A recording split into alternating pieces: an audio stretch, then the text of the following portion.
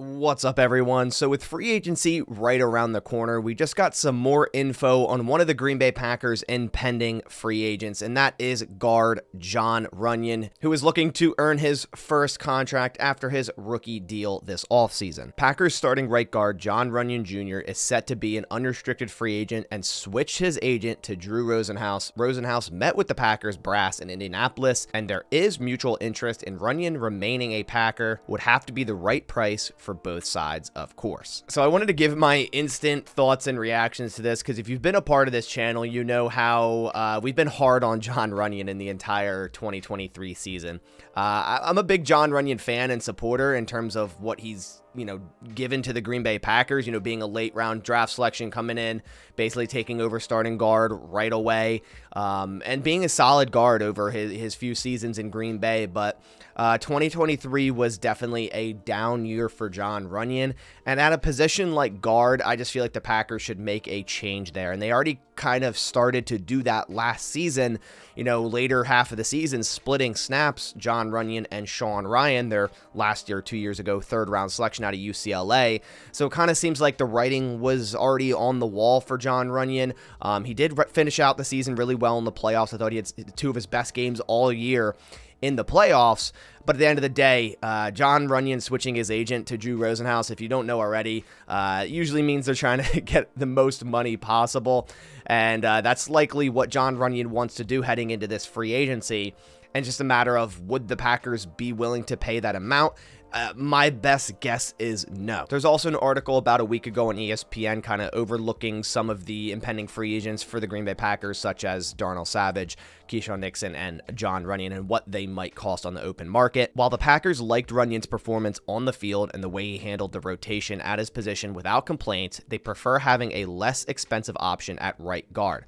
Rhyan, entering the third year of his rookie deal, will count only $1.3 million on the 2024 salary cap. The market for Runyan, according to the source, is pegged between $4 million and $6 million annually. So right now, at that 4 to $6 million annually, let's just call it $5 million annually. That would put Jon Runyan at the 10th highest paid right guard.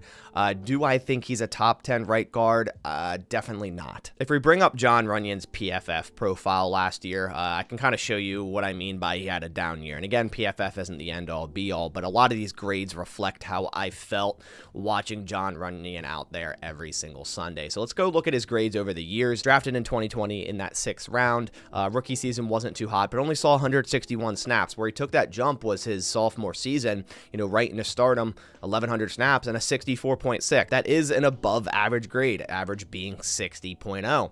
In 2022, a 62.6, so still slightly above average. Where he took that drop was definitely this year, down to a 56.5. And primarily his problem has been run blocking. If you look over the seasons, he's never had an average or above average run blocking grade.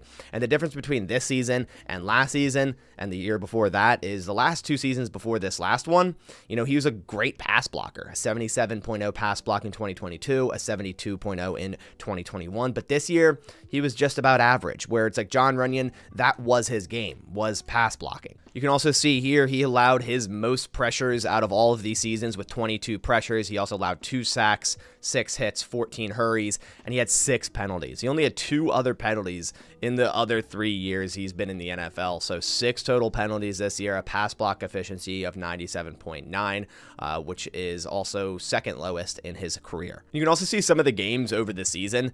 It was just inconsistent for Jon Runyan, right? When you look at run blocking, you can see a lot of grades in the 30s and the 40s, but none of them really great until later in the season. Like I said, he finished out the season well. Uh, Chicago, Dallas, and San Fran, he actually graded some of his highest grades all season. So, you know, I commend him for finishing, finishing out the season strong.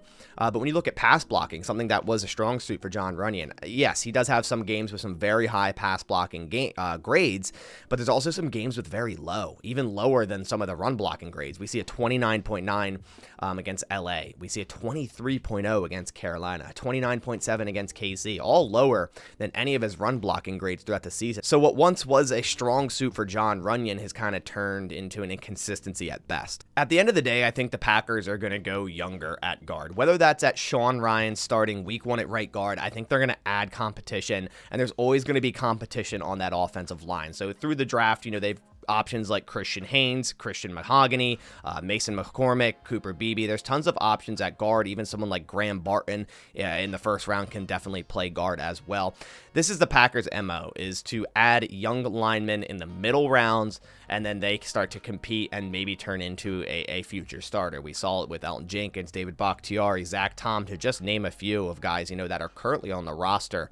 Um, that's usually the Packers' way. They don't go and offer a ton of money yearly to a guy that's been kind of subpar, and uh, at this point, when they can get someone for cheaper and could eventually end up being better. So overall, to me, if the asking price for Jon Runyan is five to six million dollars, and another team offers that, which they might, because you know teams are always looking for starting caliber offensive linemen, you should definitely let him walk if you're the Green Bay Packers. Now, if we're talking like three million, maybe four million, just to bring him back in as a depth guy, maybe not as a full-time starter, just you have another guy in that interior um, where you need depth, I, I I might be on board for that. But anything above that monetary wise, which he will be asking for and which he might get because you know now his agent is Drew Rosenhaus um, definitely off the board for me if I'm the Packers. But I want to hear your thoughts down in the comments below. Uh, for that monetary value, would you re-sign Jon Runyan? And overall, what is your thought on Jon Do you think they should even look at potentially bringing him back? But I appreciate you guys coming by to the video. If you could, please leave a like down below. It supports the channel a ton.